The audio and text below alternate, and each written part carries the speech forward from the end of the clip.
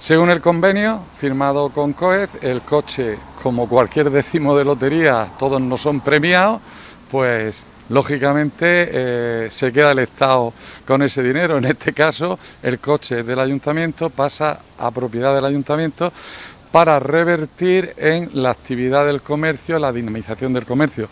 Tenemos que buscar el nuevo formato, cómo se hace, pero esa es la pretensión. Desde aquí agradecer a COE el gran esfuerzo de trabajo que ha realizado, puesto que la pandemia no nos dejaba hacer otra cosa en ese momento.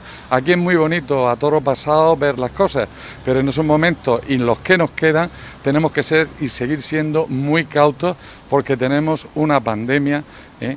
que hasta que no haya una vacunación masiva sabemos todos que nos va a tener un poco apretados y en la próxima, como tenemos el coche, tenemos el dinero que ha sobrado, que se le devuelve al ayuntamiento, se ha devuelto ya el 31 de marzo, se arreglaron las cuentas y se volvió al ayuntamiento, vamos a seguir luchando por esa dinamización de Cartagena.